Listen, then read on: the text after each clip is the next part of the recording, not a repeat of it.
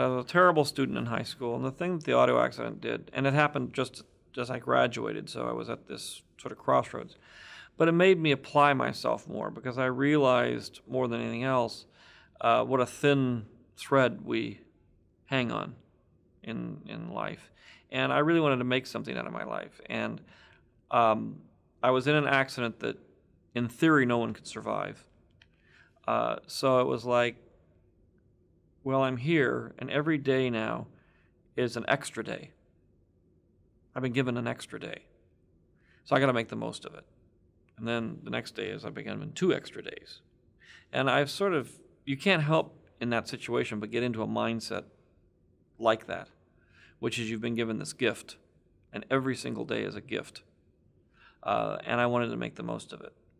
Uh, before, when I was in high school, I just sort of wandered around and you know, I wanted to be a car mechanic and I wanted to race cars, and I, you know, I just the idea of trying to make something out of my life, you know, wasn't really a priority.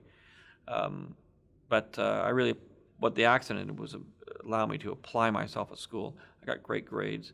Uh, eventually, I got very excited about anthropology and about the social sciences and psychology, and um, uh, I was able to push my photography even further, and eventually discovered film and in film schools.